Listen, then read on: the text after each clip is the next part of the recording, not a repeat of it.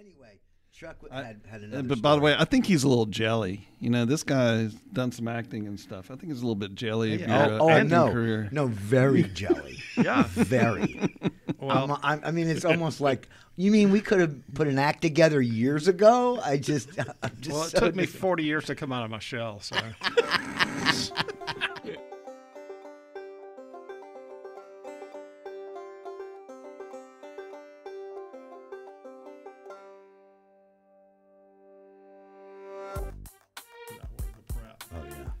so I got home. I was talking to Becky, and she says, "Well, how'd it go?" I said, "Good." And she said, "What they asked you?" And I said, "Well, they asked me this and that." And I said, and "I kind of locked up on the, um, what's the craziest thing you've ever been asked to do?" And she says, "You didn't tell them about the helicopter?"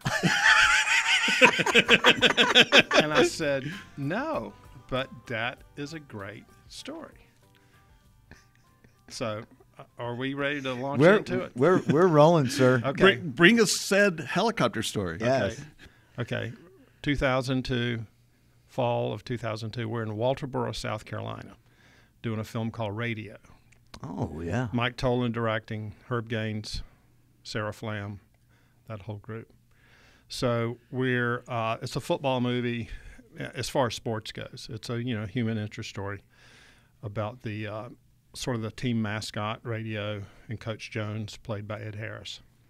So we're we're we've done a lot of stuff. We've done the school stuff. We actually built a practice football field adjacent to the high school field that was there, their stadium for Walterboro High School. And we they, so the team uh, did their scrimmages and stuff like that to get used to playing. And it had Mark Ellis was our Right. was our uh, Summer sport- catch. sports coordinator, yeah, and One Tree Hill. He In did- Hill, that's yeah, correct. Yeah. So um, we had to wait until later in the fall to get the stadium because they, Season. they had their season and maybe maybe one playoff game or something like that. And so when that when that uh, finished up, we got to use the stadium, and um, so we had several days of and nights actually several nights of high school football boarded for you know whatever four or five nights something like that so i think we started on a friday night shot that night shot saturday and it started raining saturday night during filming and they kept playing and turned the field into an absolute quagmire Oh God. before they cut. You know, they wrapped and um, little a little backup.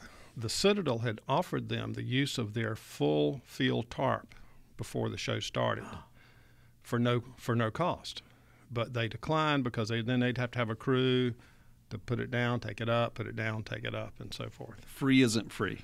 Yeah, exactly. So anyway, so it rains all day Sunday. We come in Monday morning, it's still just pouring rain.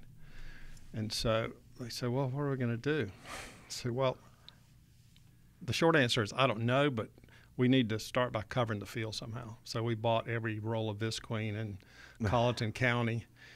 We at least covered the field, and by Monday night it stopped raining. So Tuesday morning we went back and uncovered it. And we got fans out there, we got heaters out there. We even got the electrical department to bring 10Ks out there and just set them up in the mm-hmm. field. Mm-hmm. You could see the steam coming out of the mud from the uh, heat. Yeah, a bunch of Dinos would have been nice about that. yeah. So that was that went for uh, like a couple of days, and we just weren't getting anywhere. So Sarah Flam says, "We're we're dead in the water. What are we going to do?" And I said, "We need air, and we need a lot of it." I said, "Have the film commission call the governor and see if we can get his helicopter down here." Turns out the governor doesn't have a helicopter. Um, whenever he needs to use a helicopter, they use the South Carolina Air, um, National either Guard. the, either the Nas- National Guard or the Coast Guard. Mm. So that was off the table. So we contacted a flying service in Aiken, South Carolina, and the next day, two guys show up in the old timey whirlybird. It's the Oh. glass bubble. Two guys come in, and so we met with them briefly, and they spent the next eight hours hovering about six or eight feet off the ground, just covered the field in a grid, Oh my. back and forth, back and forth. How about those sound effects, guys? Yeah. this is a quality production. Yeah. Sounded like them going right by us. They, they went to the uh, local airfield and fueled up once, came back, and f- they went until uh, dusk. So Yeah. they couldn't see anymore. Uh, and I guess they had to quit before then because they had to get, back to their Right. to their uh, their home before dark. Uh, this was not fly by night or fly by wire Right. uh, uh, yeah, literally. technology. So it really helped a lot. You know, it it dried it out, at least the surface, so it looked like something. One of our greensmen uh, was from uh, Hilton Head, not Hilton Head, but um, St. Simon, Georgia, and he used to be in the uh, work on golf uh, golf course maintenance. So he contacted all his network down there, and these guys mow the greens and the fringe every day, which is uh, overseeded ryegrass, so it's green. And he got them to bag up their cuttings every day, and we sent a stake bed down at the end of the week and got, I mean, stake bed full of trash bags of green clippings. So we filmed Friday night and Saturday night, and we had a group. We went out Friday afternoon with our grass and just spread it on the field because it looked green. You know, it didn't have any depth to it, but it had color, and it did have texture. And you're on top of like mud, basically. Well, it's or? it's dried out some. You know, the first Gotcha. probably, you know, if you dug deep, it'd still be pretty uh, pretty bad under there. But it's chewed up and it's you're you're but just covering it's the what we had. Yeah. So we lined the field, we did the whole thing, and uh, so they started playing again, and it worked out. They shot um, Friday night and Saturday night, but every time somebody got tackled, they'd be covered in gla- grass clippings. So they'd have, to, they'd have to clean them off, and then put more clippings on the field where they'd just gotten up from. Right, right, sure. So we had to stand by a grass clipping guy, or two or three of them, and then. Um, Did that fall under construction? Did that fall under props? Somehow it fell under construction. Okay. You know, we did have a greens crew. I was gonna so, say. Uh, we had the on-set greens and plus one. Gotcha. I think. Um, so Sunday we were filming the high school graduation scene on that same field.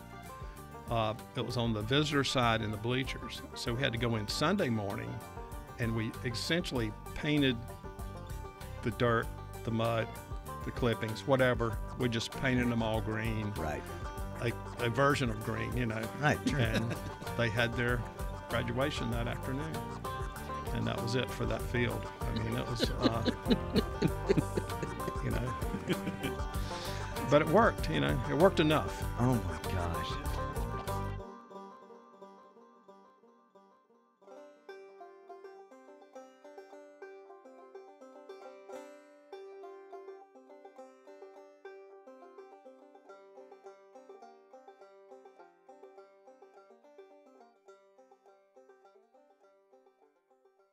Um, so, if time is allowed, I have one more Yes. kind of a short story cat, that go. is uh, has a lot of people involved that are near and dear to us. On um, as long as Chuck thinks it's funny, we're good. well, it's not it's it's not funny. It's uh, okay. not funny, haha. It's uh, funny like. Oh, let's go. We need a woo woo. So uh, we were we were working on a Year of the Dragon, and my department had gone away. Management had gone back to England, not to come back. It was either at Thanksgiving or between Thanksgiving and Christmas. So uh, it was my second film, and I was the head of the, my own department. Were we had twelve of us, and uh, by that time we were shooting locations and the backlot for Chinatown. So on a uh, a Sunday, they were scheduled to shoot downtown, uh, down at Water Street, looking back up to Front Street, and then in the distance was First Presbyterian Church. That's got the rooster on top. So on Saturday, after business hours, the, okay, uh, Michael Cimino wanted the rooster removed and a cross put up there to match Greenpoint in New York. I, maybe it's in Brooklyn. I'm not sure what part of town that's in. But we'd Right. taken the old Mickey Rats and turned that into the Greenpoint Funeral Home. And I- think the thinking was the camera was going to be down around Water Street shooting east, and the rooster slash cross would have been in the distance. So Bobby and uh, Bobby Huber and his crew were tasked with taking that rooster out and replacing it with a cross that Butch Truelove had built out of aluminum, and it was a dimensional cross. It was very uh, figurative. It- And that's a very tall steeple, and I think it's a stone steeple as well. It is both. So they get up there, and, and this is like, how high is it? I don't know. This is the crane. So they ordered a crane. The crane shows up, set it up, and this is once again this is after sort of business hours for the church, and they have a basket, and they get up there, and they're um, they can't reach it. So, But it's not by much. but it's not by much. Yes. But so uh, Scott Hillman, Scooter, and two or three other guys, myself, Butch. Do you remember James Wade? Uh-huh. Who Oh, sure. Butch's, um, Yeah. who happens to be Alonzo Wilson's brother. I did not know that. Wow. Until Wow, until I did James not know passed that. away, and I did um, and uh, I had said posted something on Facebook, and Alonzo says, "You know that's my brother, don't you?" I had Never no knew. idea. Never, knew that either. Yeah. Um, so anyway, um, Scooter and you guys. we come back to the welding shop. So Butch is there, uh, Wade's there, and they build a jib extension, 12 feet long, in the shop at night. This is, I I'm mean, talking, this, this is hardcore. I'm talking. This is two or three o'clock in the morning Yeah. at night. And this is hardcore problem it, solving. They take it back to the set. They put it on the crane. They get back up there, and I don't know if that rooster had ever been removed once it was placed there, but um, Can't Bo- imagine. Bobby had had uh, Butch put a uh, inch and a half steel pipe through the through the center of that cross down the bottom. I think he had him run it six feet down, and um, so they got the rooster out. I mean, that was laborious. It had it had a shaft on the bottom of it. It appeared to be threads, but it wasn't threaded like a screw. I think it was probably for maybe a lubrication to get it in to have a channel for that to live in. You know. So anyway, they uh, after uh, after a long time they got it out, and they got the cross up there. So the cross is eight feet tall plus the shaft plus the on there. six. So you're talking that much above the steeple, and they get it down in there, and it and it hits hits something before it's seated. So they have to pull it back out. And I talked to Bobby about this, and they got the got them to to bring the porta band up into the basket. They cut four inches off of the pipe, placed it back in, and by this time it's starting to become daylight, and Right. the start, shooting crew's starting to show yeah, up. yeah, yeah. And if I'm not mistaken, they may have used that parking lot. No, they couldn't have because church was in that day. I was thinking about um, I don't know where base camp was. That was a go-to parking lot for many years. right, but this was a Sunday, Yeah. so it would have been a church day. yeah. So um, they said, "You guys got to get out of here." I said, "Yeah, we're where?" so uh, Bobby said all they had left at the time was baling wire. So they just put baling wire all over that cross and to fasten to whatever they could find to fasten it to. Got the hell down from there, wrapped it up, got the crane out of there, and fortunately, they were given the entire day on Monday to reverse the process. But I mean, the my favorite part of that story is they came and they built A- an extension. A 12 foot jib extension. That someone's going to ride.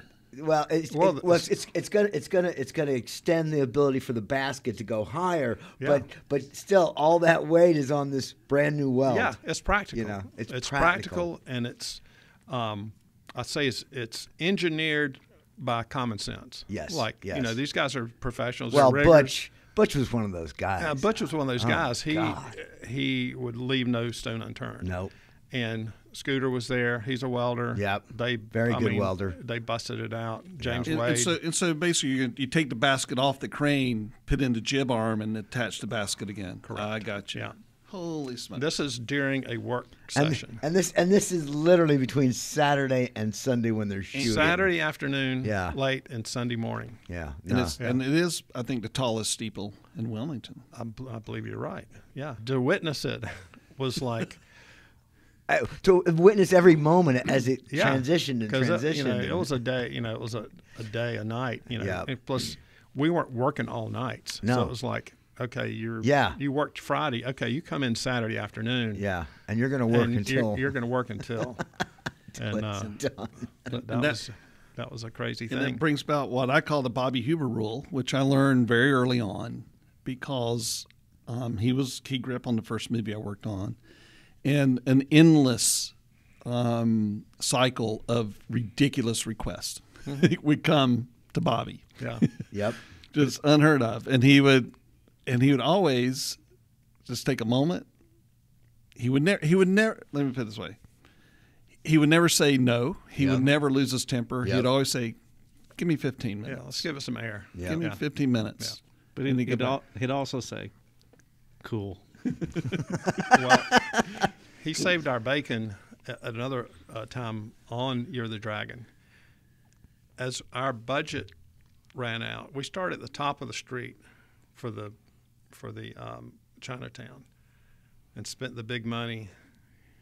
As we got to the bottom of the street, we were running out of running out of uh, resources. No kidding. And so all the interiors had had roofs built over them. Right.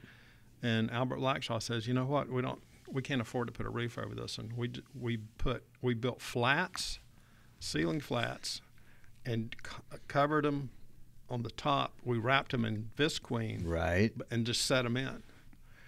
And so, um, as they were, it was an interior of a uh, Italian restaurant. So they go in there that day, and I wake up about three in the morning, and it is just dumping. Ugh.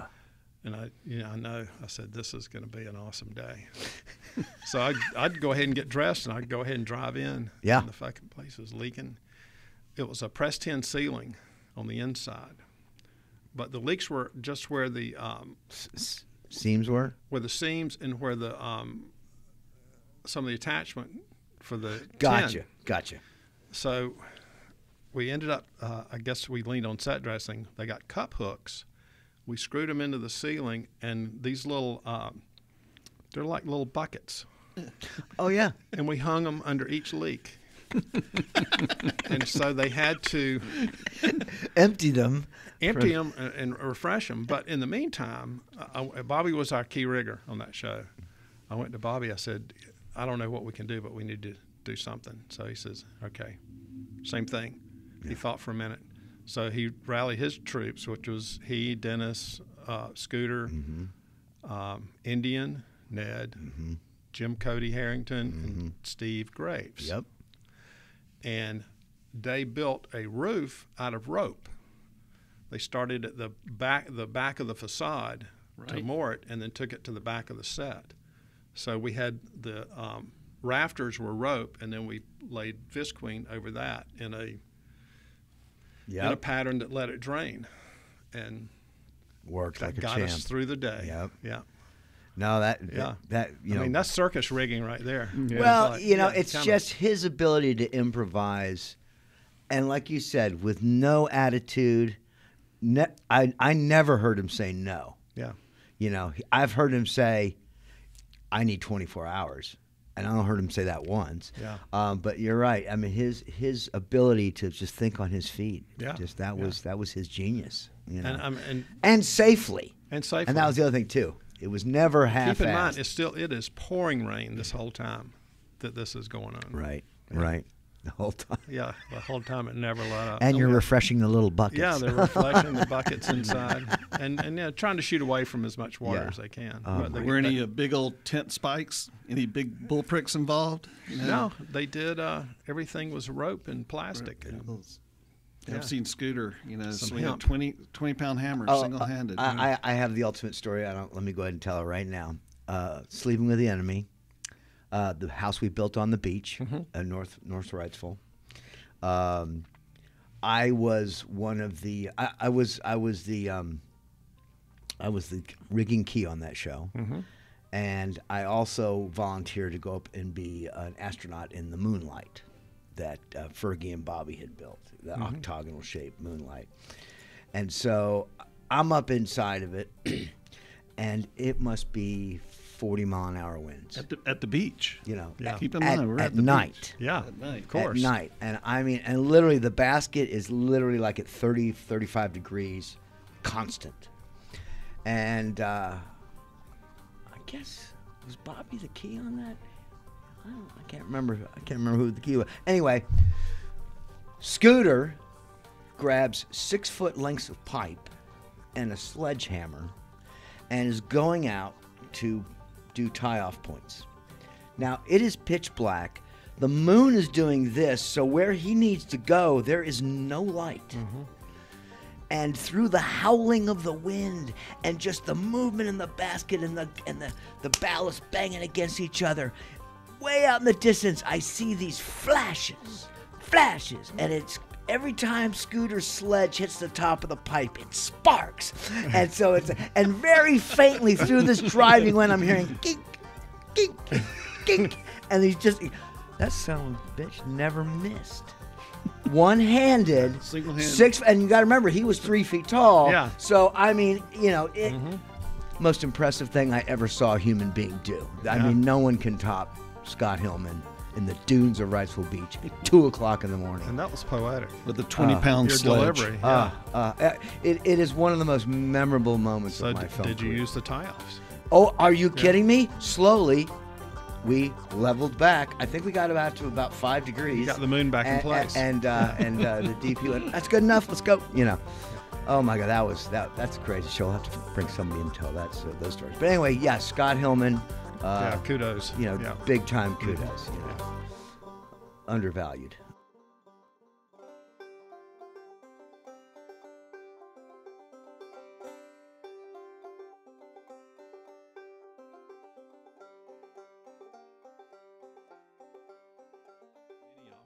you know, uh, over the years, it's hard to, uh, it, you know, when we were in the early days, in the Dino era, Right. you were exposed to so many people. It was like an incubator Yes. because you had, you might finish a film on Friday and start another one on Monday Right. with a whole new cast of characters, not so much within your department, but all the other departments, art department, production, so forth. Uh, so that was like, to me, was a transformational time because you were exposed to so much from so many different people from so many uh, areas of the world Yes. basically, uh, as far as uh, skill sets and so forth. And and everyone was very generous with their knowledge, and they were just wanting everything to go good. Yeah. Well, you know, that time for me, we were all thrown to the wolves. We were all given lots of opportunity, and many mistakes were made. Yeah, yeah. Well, And- you can't be afraid to make a mistake. Yeah, exactly. And and um and I I learned early on that you know the, the circle would form, the screaming and shouting would start, and I learned that if you'd raise your hand and say it was your fault, if you hey it's my fault, I noticed the screaming would stop Yeah. and people would settle down and says okay what are we going to do to fix it? Yeah. So I learned my my my line is I'm always been very good at making mistakes. I'm even better at fixing them. Right, right.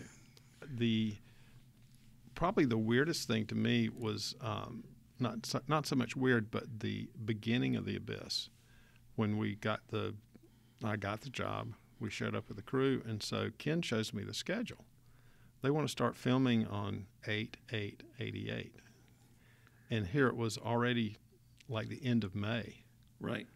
and they were just doing the uh, gun in a tank, Still still building the swimming pool. still know. building the pool, still doing the infrastructure for the pool, and it's like, who who did this schedule? Who did this budget?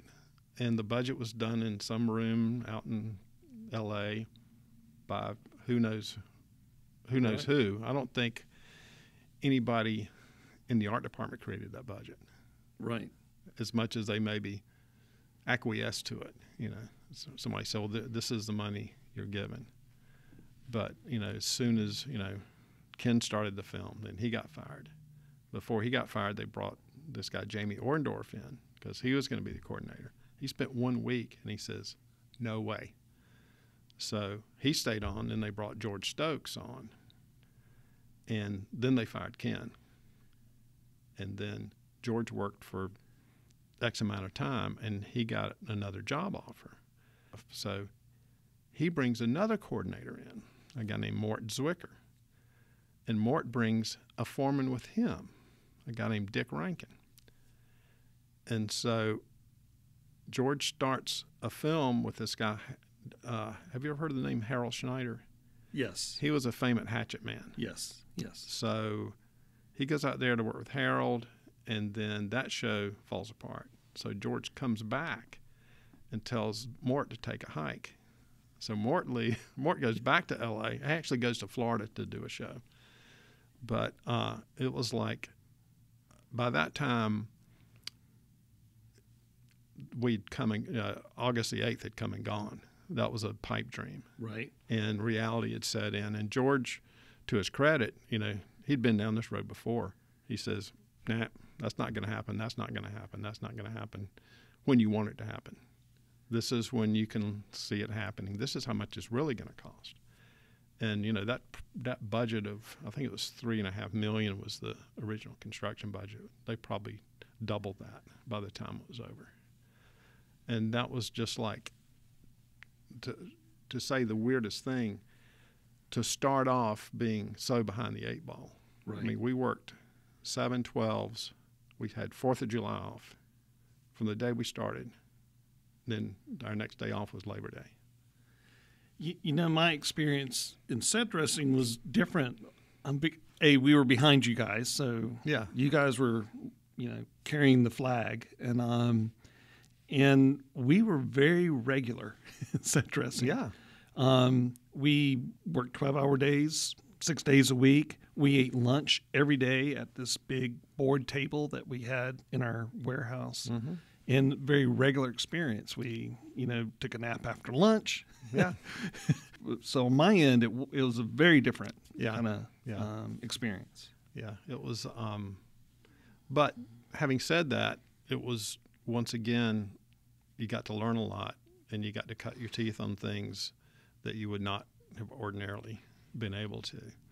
And, And- and, it, and it re- also required that, that massive metal fabrication crew that came in. Well, and those guys were local.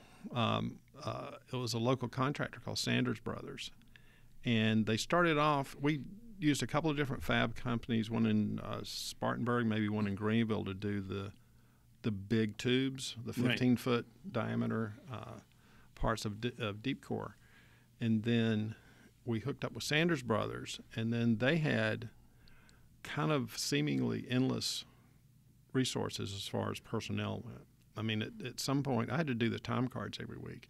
We would have over 250 people from their operation working on that show, Good heavens. and, and not uh, not all on site. You know, they did a lot of the infrastructure, the beams and everything over the tank, but they were fabricating stuff back at their shop, and uh, and that and that is another thing to George Stokes' credit.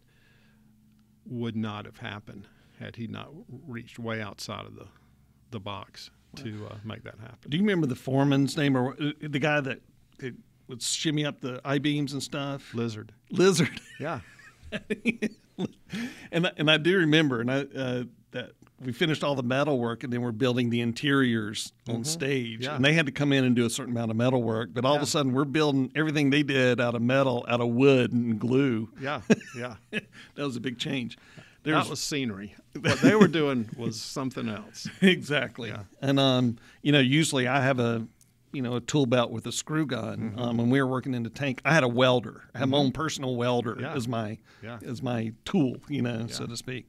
You know, there was one. Uh, I don't know if you recall. Remember we built uh, because you and I were kind of uh, one of the few folks there early on where we mm-hmm. mocked up an interior set. Mm-hmm. And um, we went in, and I think you put up just a simple Luan form, and I filled it full of set dressing, Right. and we hung a bunch of stuff from the ceiling. Mm-hmm. And Jim Cameron came in and did a walkthrough. Yeah. And uh, Leslie was there, and then we had Leslie, the art department coordinator, taking notes. I forget her name, Mary Carol Palmer. Mary Carol Palmer, taking notes. Mm-hmm. And um, and I was there. We saw the whole thing, and I remember Jim Cameron saying, you know, I want the the ceiling height at six foot 8 Mm-hmm. And when Mary uh, Palmer released her notes, she said had seven foot eight. I knew it was a mistake, Yeah. but I assumed That she heard something it. Yeah, different or yeah. Mm-hmm. that someone, and I assumed it. And then we had to go in. We built all the scenery. Jim comes in and says, "What the fuck?" Yeah. we had to go in and lower everything. Yeah. And I knew it. That's that's one of those things you got to speak up. You got to know, and that's Mm-hmm. Yeah. and I or and I needed to own responsibility. I said, you know what? I knew that was a mistake. I should have spoken up. Yeah. Not everybody hears the same thing at the same time.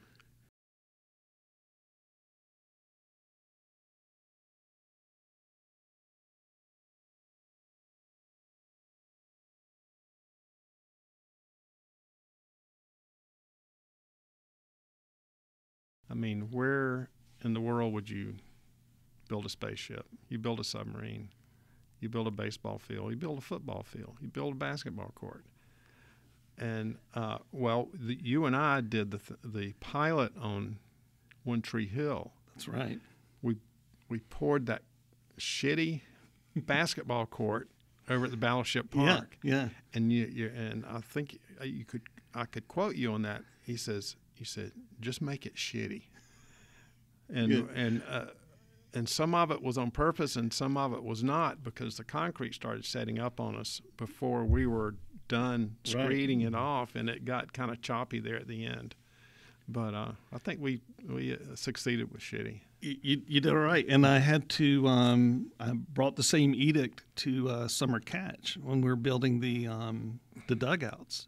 Right. Yeah. I think Frank Pearson was doing Frank the, uh, Pearson. He was doing the dugouts. Frank yeah. Pearson. And I said, I don't want straight lumber. I said, if I'm going to go find crooked lumber, and and ultimately did a great job of building um, wacky, yeah, build crooked- character into it. build character into it. Yeah. You know, I worked in Berlin on Homeland, Mm. and the Germans. one of the first sets we had to build there was a brothel. And um and I go to these guys. I said, you know, we had partitions between the rooms, and I said, you know, you know how that it warps and gets crooked, and they just looked at me and says, why would you build anything that would warp and go crooked? Germans did not understand that at all. Why why would you do that? and um and It's not logical. it's not Yeah. well, they, just not practical. They're- they would never build anything that would warp later on.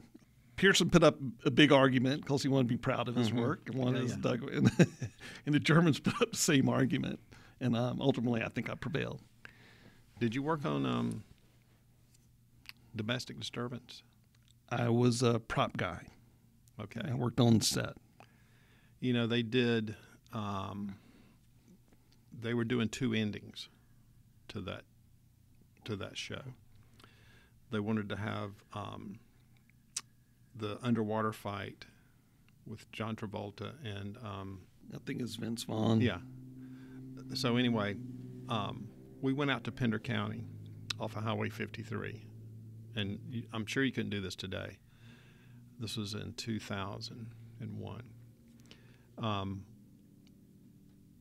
some property owners had two ponds, so we took the smaller of the two ponds, and we pumped all the water out of it, and we got down to, and we pumped it into the other pond and we got down to the point where when once it was knee deep, we went in in waders and we scooped out the fish that were still in there. We moved those to the other pond, and then we totally drained it out. We formed up and poured a driveway that went from the edge of the pond to the bottom of the pond. Concrete formed up the whole thing, and then they covered the entire interior of the pond with uh, rubber membrane roofing material. So it became sealed. And then they ran trucks 24 hours a day from fire hydrants in Burgaw to fill that pond up. They did um, climate control and filtration on that pond Oh my goodness.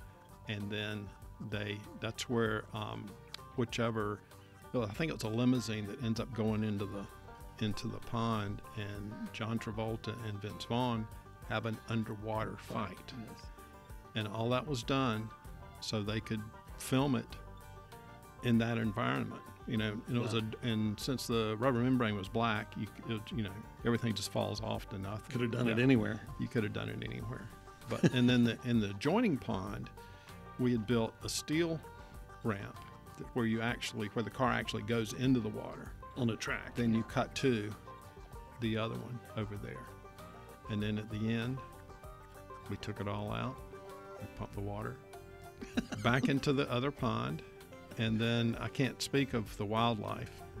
Uh, I'm assuming that maybe it got repopulated. Oh my goodness.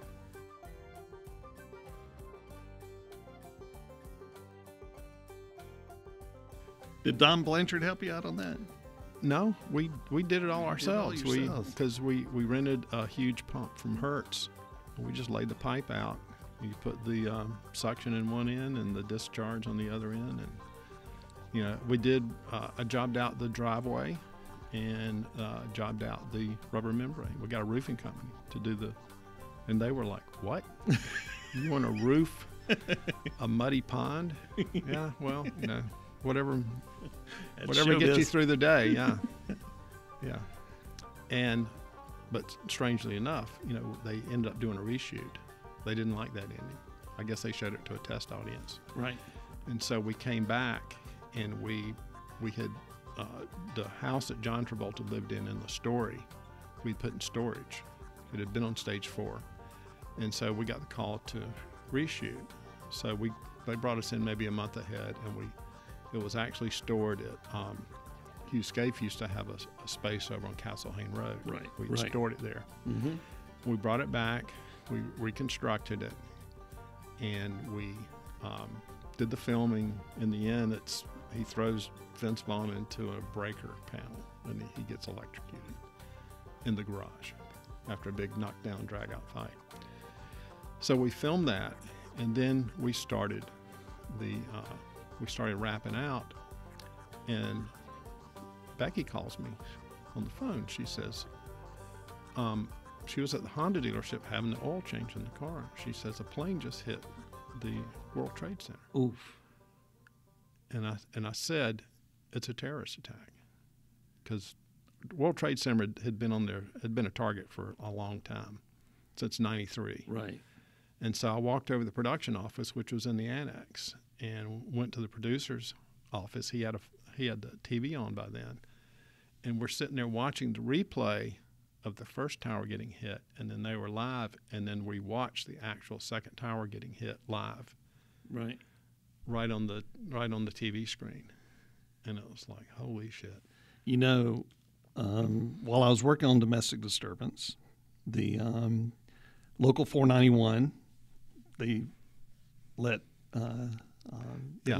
business agent go. Yeah, I Tommy. Love. Yeah, And um, and I volunteered, mm-hmm. and I became the interim business agent. yeah, I remember. That morning, I was driving onto the lot. You stepped out of the annex, knocked on my window as I drove by, and says, "You know what just happened? You were the one that told me." Wow. yeah, I mean, it was just happened. I mean, it was just like holy mackerel. Becky and I had taken a trip to New York the previous February, and um, we'd done this fundraiser for uh, Opera House, and it was a, a auction thing, and we we got this trip, and we I got photos somewhere, but I took photos of the south end of Manhattan Island with the World Trade Center on our way to LaGuardia, and part of the uh, trip package was um, a, a, a gift card for uh, Windows on the World. So we had brunch on that Sunday morning on the whatever it was, 104th floor Right. of the North Right. Tower.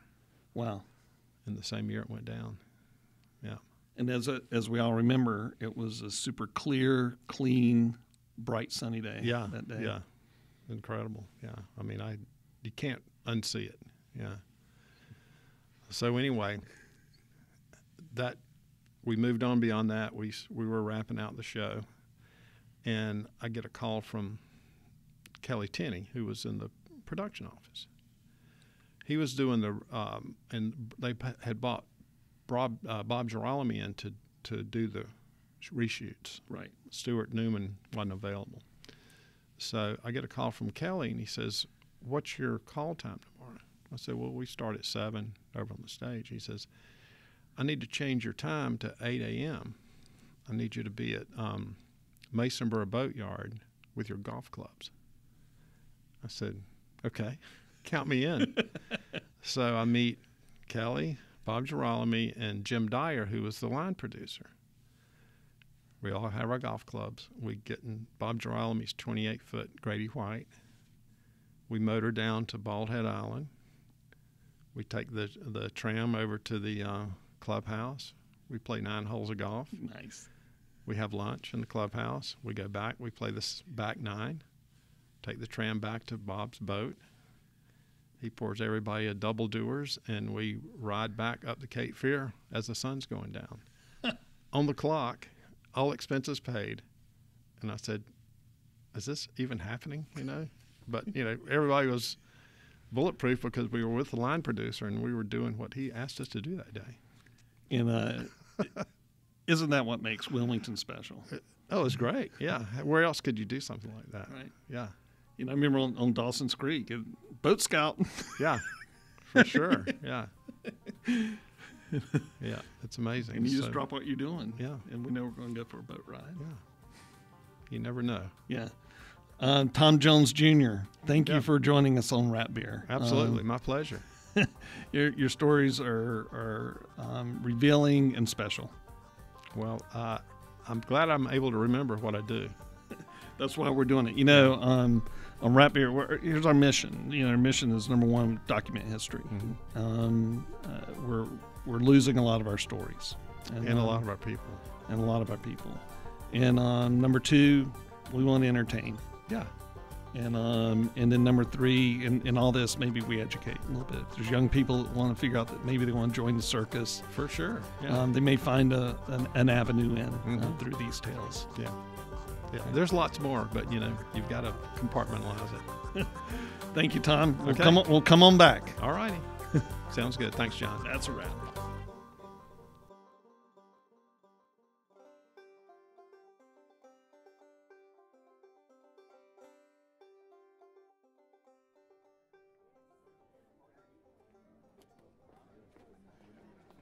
Hi, this is Scott Davis. Here at Wrap Beer, our number one priority is to capture the stories of our fellow filmmakers. Unfortunately, sometimes we lose that opportunity. We recently lost filmmaker John Verardi, first assistant camera. Now, John was never short of friends, and a few of them spoke to us recently at his celebration of life. So, too, when we were doing Homeland, um, we always lived in the same apartment uh, communities, and Johnny would always make us first breakfast. So we'd go to his house first, Really? and he would make bacon and eggs and uh, coffee. And he had this old school percolator that made the best coffee. So we would have the coffee there. Then we'd go to work and have our real breakfast. So there was one day where I was working on a, a different unit than him, and uh, so I wasn't going to be able to make it over. We were going to go at different times.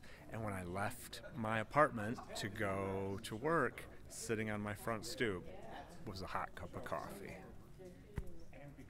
And it just warmed my heart. when the crow shooting happened, he was the loader. And when it appeared how seriously uh, he'd been he'd been injured, and that they had cameras rolling for this whole thing, what for what might be recording the crime, he's the one who taped up, pulled all the film, taped up the film, sealed it and put a tape on it, which he signed the signature on, he signed the seal on, on both ends of the tape, and he told the producer to put it in the safe so they could turn it in to authorities on Monday morning. He's the guy who said, you know, and for, everyone's like busy. He thought, nope, this is what has to happen now. Everyone else is running around I'm doing this. And he did it. at the hospital, and it was the same kind of thing. He was he recognized me for a second, and I was like, okay, cool. And then he was really like, all of a sudden, he was like, guys, he goes, we're not doing. I'm worried about the car. We're not gonna. I don't want to do the stunt. He goes, make sure whoever's gonna do it. He goes, don't let those motherfuckers get you in that car. He goes, I don't trust them. He goes, I want to see what the car is gonna do. And so uh, who was it? It was me. It was uh, Patrick Broviak in there. And we said, Johnny, it's okay, man. I said, we're not. I mean, he totally went into work mode, and he was just like, he was like, I don't want to, I don't want you guys to not be safe. And he was just, I don't know, it was just like super gracious, and he was just like concerned about us. As he No, I know. And he was just like, he goes, but it was just so funny. He was like, don't let those motherfuckers it. He goes, I don't trust them. He goes, I want to see what the thing's going to. And I, we just said, Johnny, it's okay, dude. I said, we, we've canceled the stunt. We're not doing the stunt tonight. We're, you know, he's sitting in his hospital bed, and he's like, he's all right. He goes, well, let's go home. Go get my car. He goes, let's go home. And I was like, nice. on Black Knight, we were just starting the show, and we got all this talk about number one on the call sheet, and don't look at them. Don't don't even think about it. Just put your eyes in a different direction. And Johnny's like, "What is this bullshit? That's my job is to look at this guy." And they're like, well, Johnny, you're just going to have to find a way to, to work around it. And he's like, going to work around it for this guy. so, first setup, Martin comes on stage. After we've worked it all out with the stand ins, Martin comes on stage. And Johnny, like he always does, hooks the tape up to the camera and runs it out to Martin's face and puts it right up next to his eye his eyes about came out of his sockets. He's like, What the hell? What are you doing? What's happening here? He's like, I'm just doing my job. He goes, No, no, no, nobody does that. And he ran off the stage. It took us about two hours to get him back on stage. And Johnny's like, I don't care. I'm just doing my job. It, it, you know, if he's not in focus, there's no sense in shooting this. There's a lot of stories. My favorite quote that he ever said. Uh, we were working on a show late at night, and uh, in the dark, there's a big party going on, and the actress in question, uh, someone had given her real. She wanted real wine, so she drank like three glasses of wine. So she's a little tipsy, and she's wandering all over her marks. Johnny's getting frustrated. He pulls a tape out. I'm laying marks down for him. He's twirling it back to, to the camera. The first AD he goes, Johnny, you good? He goes, Nope, but I'm available. Let's go. I moved from the electric department to the camera department, I knew Johnny. Johnny knew me, and he said, "Hey, I got I got some advice for you." And he said, "Listen, the best thing you can do is to keep your mouth closed rather than open it up and let them know how stupid you are." And I, I struggle with that still, but whenever I say something stupid, I always think about Johnny telling me to just just be quiet, man. Saved Johnny on Eastbound and Down. We were doing a burning burning sequence. Um, they were taking all of the memorabilia and they were going to burn it. So they set it all on fire. It was really late at night. We did the burn. The footage comes in the next day and it's all out of focus. And the visiting DP tried to blame John and said it was his fault. There was no light. He underlit the scene. And John explained that he was wide open on this lens that they had and did everything that he could. And Danny McBride knew that it was not John, that he was an excellent, you know, first AC, and he had done the best job possible, that it was the DP. And the DP threw him under, and I stepped up and said, this is this is what this means. We were explaining it to Danny because he was new in the business. And they got rid of the DP, and John stayed. which is one day I went to go pick him up, and he get the, he got in the car, and this was right after he just got his dentures, and he didn't have them in, And I didn't say anything because uh, it was like, whatever. And we start to drive out of the parking lot, and he's like, Damn it, Patrick, what did you do? You, I forgot my teeth. And I'm like, well, Johnny, I didn't want to say anything. He's like, what do you mean you didn't want to say anything? You're going to let me go to work like that? And I just thought it was like, well, I, I guess that's what you're doing now.